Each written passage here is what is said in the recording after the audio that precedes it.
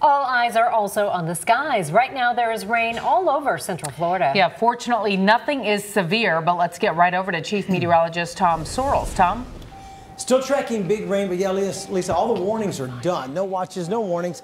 Just a bunch of additional rain. Look at what's going on right now from Reddick all the way back out to Williston. East of Dunnellon is where it's blowing up right here. Here's Highway 41, and this stuff is regenerating just to the west of Ocala. Reddick is getting big rain at 1.66 inches per hour. Only 126 lightning strikes in the last 30 minutes or so there.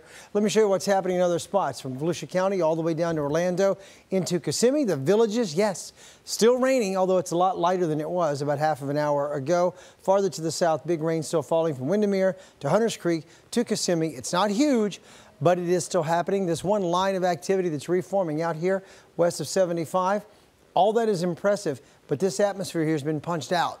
It's already worked over. I don't think it's going to explode in most areas. I'll be back in a few minutes to talk about what does happen later tonight and how soon the rain gets to rockin' tomorrow.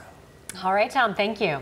Get pinpoint weather on the go with our free News 6 Pinpoint weather app. Our team keeps you up to date around the clock, plus use live interactive radar. Just search WKMG in your app store.